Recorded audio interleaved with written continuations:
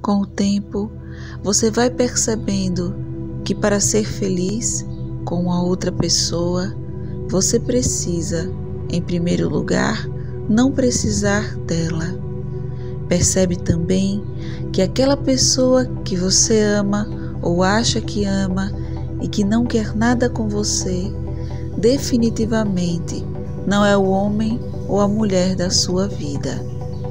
Você aprende a gostar de quem também gosta de você. O segredo é não correr atrás das borboletas, é cuidar do jardim para que elas venham até você. No fim das contas, você vai achar não quem você estava procurando, mas quem estava procurando você.